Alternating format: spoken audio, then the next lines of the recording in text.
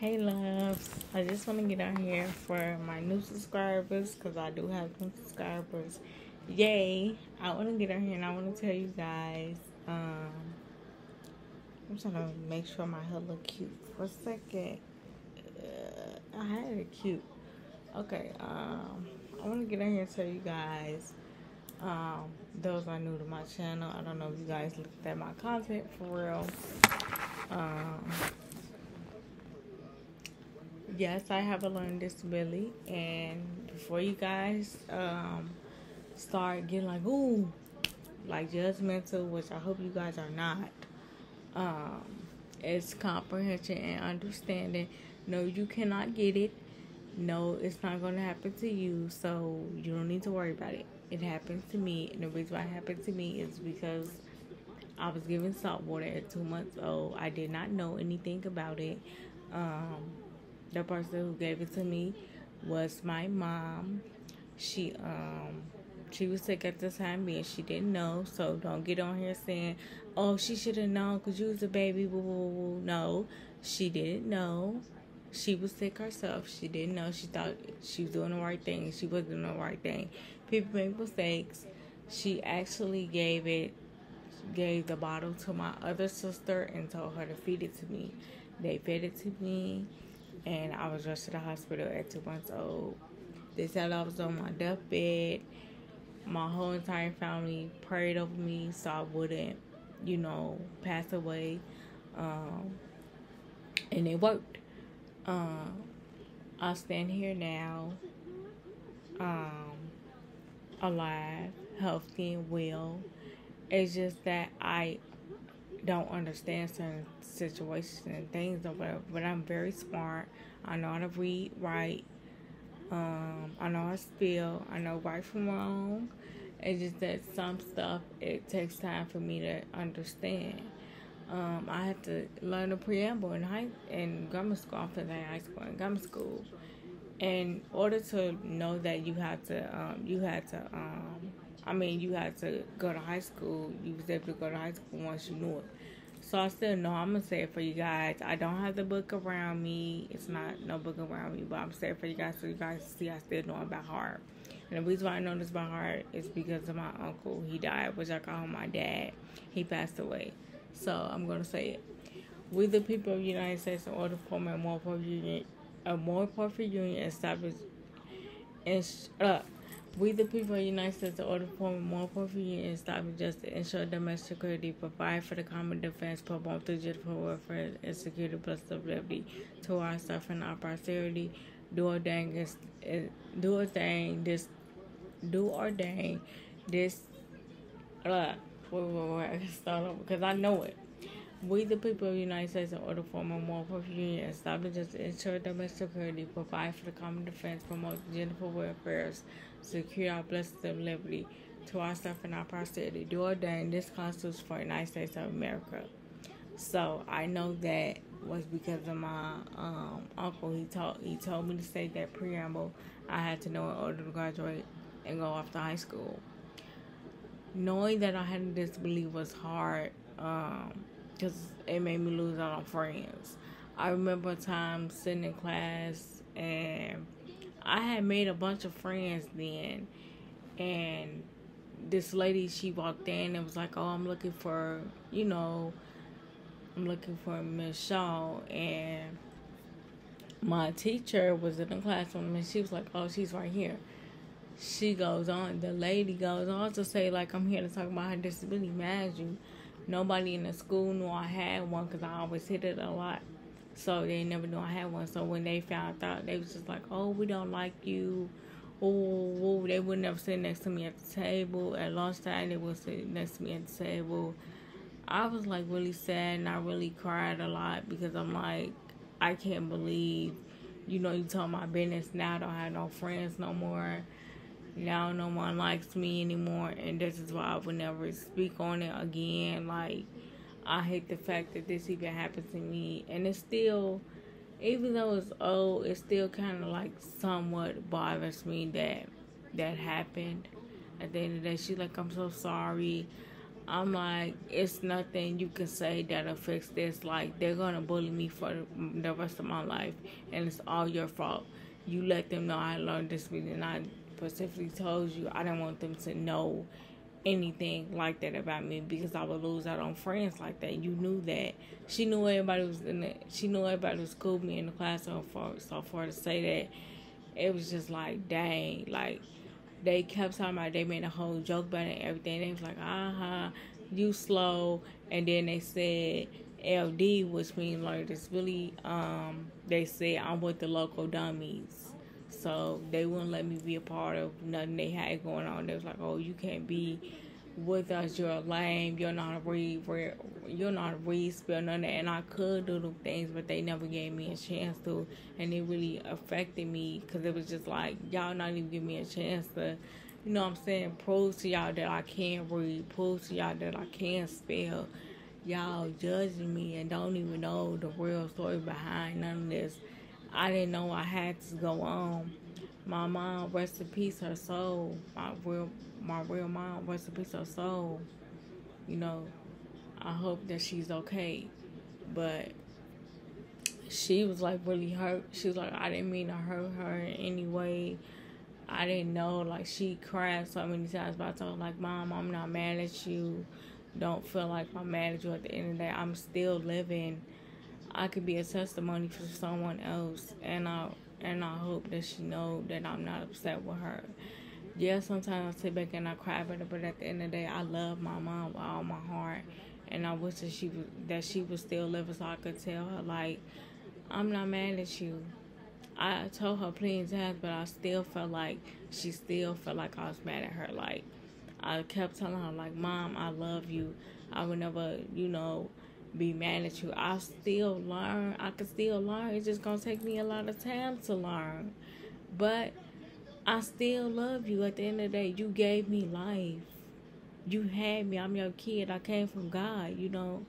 I would never, you know, be mad at you for this. But at the end of the day, all I can do is learn from this and you know, spread my journey, you know, tell people what I endured in life because a lot of people they don't know that I that I deal with this on a daily. They don't know that I have learned this, but because I don't talk about it as much, I don't want I want people to accept me. As a child growing up, I've always wanted to be accepted. I've always wanted to be liked. I've always wanted to have a boyfriend. I've always wanted to do different things. And I was like, no guy's not gonna want me because I have a disability whole time a dude did want to talk to me, whether I had that or not. He still wanted to, to talk to me. I did have a boyfriend in high school, like, and I told him. So it was like, you know, he was cool with it.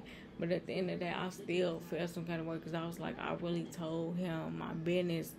I don't know if he's gonna look at me different. I don't know if he's gonna judge me for it. I just don't know. And I kept crying to God about. It. I was like, but why? I get I understand why I have it here. I understand why it's here. My my other auntie, she know the full story. She was there when it all happened. I might try to like I don't know if she'd be okay with getting in the camera, but I might try to like do a podcast with her and we could sit down and we could talk about it. Like just me and her. Um, we sit down and we talk about what actually really happened to me because she was just she know the full story, but you know, I don't really know the full story for her because I was a baby and I really don't know what happened. I know a little bit, but she know a lot because she was there and she was like, my niece will live through this. Like she would be okay. We're going to help her every step of the way. So she helps me with whatever I need. Like she know I need help with my money. I have trouble with that.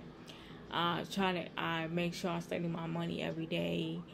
Um, you know, I just try to do what I need to do because at the end of the day, I don't want to not learn that stuff. It's just hard for me to understand it.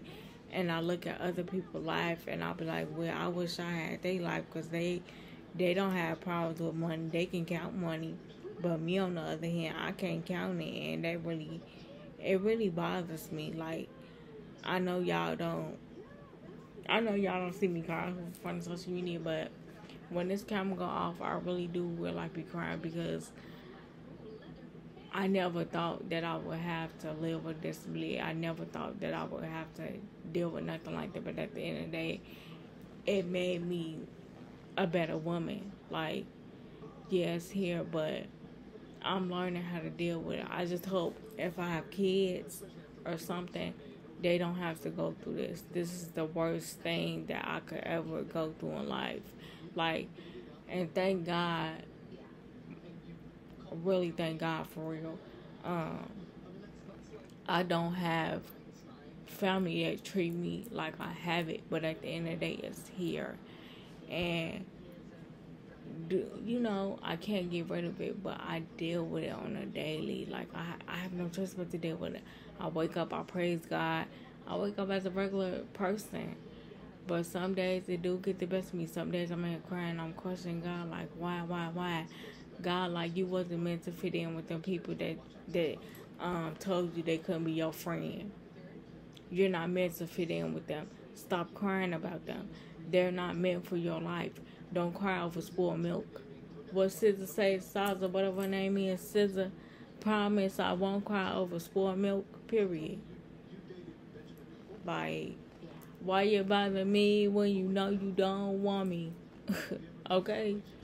Why you bother me when you know you got a woman? Period. If you if you can't deal with the fact I have a disability and you don't want to be my friend or nothing to me in life, don't come talk to me then because I'm not to hide my disability for the world, from the world, just to make it seem like I it's not here when it is here. At the end of the day, people to talk about you today you that they talked about Jesus Christ. At the end of the day, they need Jesus Christ.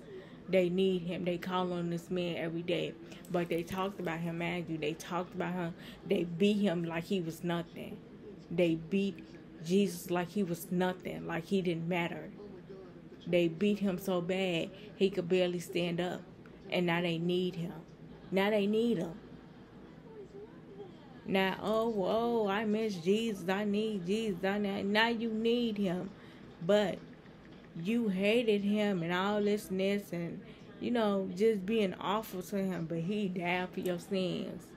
He always helps you. He helps you whenever you need his help and you treated that man like he was nothing and he still help you at the end of the day. He's still here, he still help you, he still forgive you for everything you do, regardless about what you do. Jesus forgives all the time, including God, he forgives too. But I'm just saying, like, I said all that to say is, you know,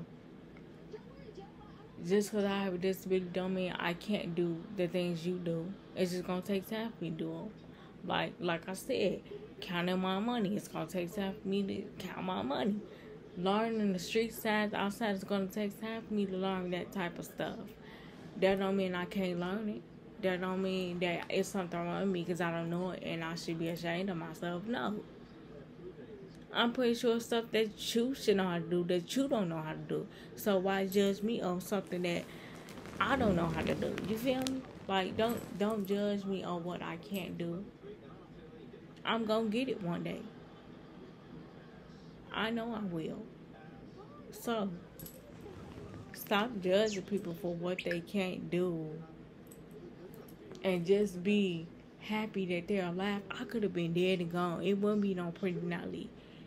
It wouldn't be me here to uplift y'all, me here to say anything to y'all, because I would have been in my grave site, dead, literally. So, y'all wouldn't even got a chance to even see me at all. I wouldn't even be a content creator. I wouldn't be nothing because I would be dead.